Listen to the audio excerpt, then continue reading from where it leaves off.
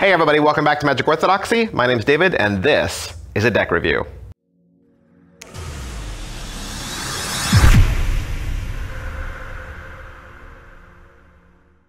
Hey, today we're going to look at Pantheon from Thirdway Industries. What is Pantheon? Pantheon is just like it sounds. You know what a Pantheon is? It's the entire family uh, of gods. And so this is a deck of cards that uh, is themed after the Greek gods. And uh, like I said, it's been released from Thirdway Industries. It was one of their Kickstarter projects, and it was successfully funded. Uh, they also did a deck a little while ago. It was called Daedalus. This is kind of like uh, the part two of it, or the second version of it. The tuck case is done in two different foils, you can see, uh, one gold, one purple, uh, and it's the, really the, the foil that is the uh, color on here. There's really no inks, and it's all done on this black matte paper. The front of the tuck case says Pantheon, uh, kind of like a Jewish star there, but I'm sure it's not Jewish since it's a Greek, Greek-inspired deck, uh, but even has some like Egyptian-looking uh, wings there in the background, lightning bolts, but of course these are all images that represent the different uh, pantheon of gods.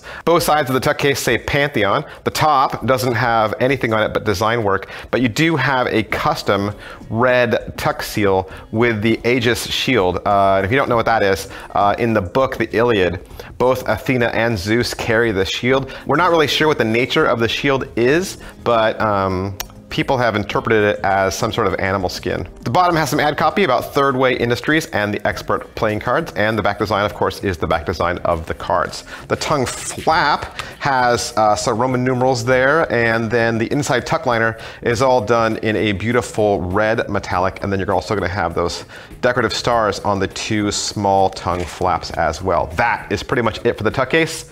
Let's take a look at these cards. These cards come printed from the Expert Playing Card Company and they are beautifully stunning with gold foil on the back design all over. Isn't that cool? Uh, a lot of people always ask how these cards feel and how they handle. Best thing I can do is measure them for you. I can put them into a caliper. I use 10 as my go-to. That's my standard. And then I compare those against other decks in my collection and then just give you an idea of how they would feel if you purchased them. So 10 of these in the caliper comes to 2.99.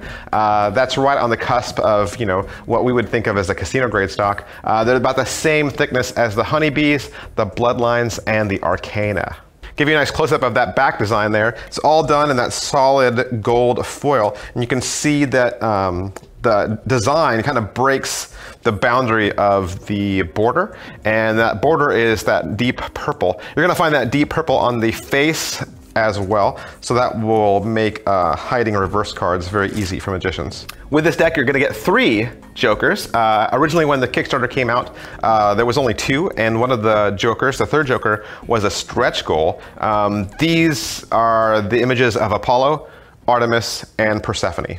Your aces are full of symbolism and they will give you kind of an interpretation about how the rest of the suits play out. The diamonds represent uh, the gods of art and growth and glory. Hearts are going to represent passion, emotions, and pleasure, of course.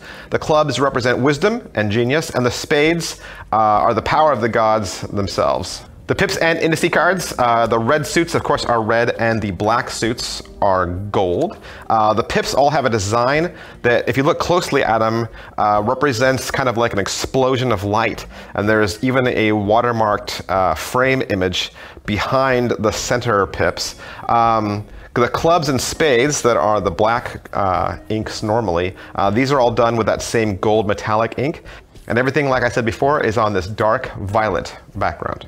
The court cards are all beautifully stylized. I think uh, Thirdway Industries has a really cool eye, a really great looking graphic. Um, and if you look at all of these, they're all modeled after different Greek gods. You're gonna see Zeus and Hera and Poseidon, Demeter, Ares, Athena, Hades, and a whole lot more. All right, so that's my review of the Pantheon cards from Thirdway Industries. As always, we recommend that you like this video just so other people can find it faster. We also recommend that you subscribe to this channel just so that you can stay up to date on the latest in cards and card magic. If you want to follow me on social media, you can. I'm at facebook.com slash magicorthodoxy, twitter.com slash magicorthodoxy, instagram.com slash magic underscore orthodoxy. And if you need more content, you can always find it at magicorthodoxy.com. Thanks, bye.